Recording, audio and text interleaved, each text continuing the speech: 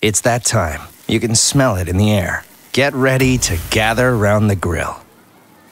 Try something a little different this summer with our Smokies chicken sausages and spicy supreme chicken franks. Try them today